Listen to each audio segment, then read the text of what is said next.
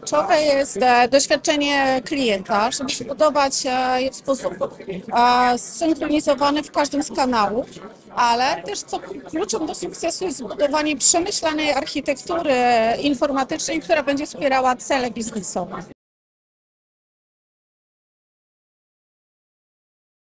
Fantastyczne wydarzenie, bardzo fajne miejsce. E, no i przede wszystkim ludzie, biznes, e, wspaniali goście, osoby, z którymi się nie widzieliśmy, przynajmniej ja, czasami po kilka lat. E, tutaj mogliśmy ich, mogliśmy ich spotkać i z nimi porozmawiać, wymienić się doświadczeniami. Bardzo nam tego brakowało, bardzo nam brakowało tego typu wydarzeń na polskiej scenie e-commerce'owej, omnichannelowej, więc bardzo dziękuję i gratuluję e, tego wydarzenia.